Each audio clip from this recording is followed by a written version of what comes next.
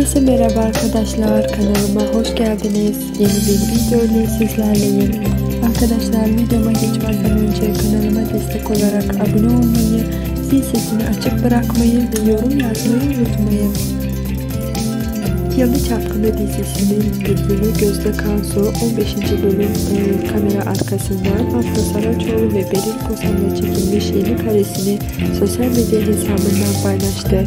İşte yeni kareleri ben de sizler için videomda düzenledim. Umarım videomu beğenmişsinizdir. Şimdilik benden bu kadar. Diğer videolarda görüşmek üzere. Hoşçakalın.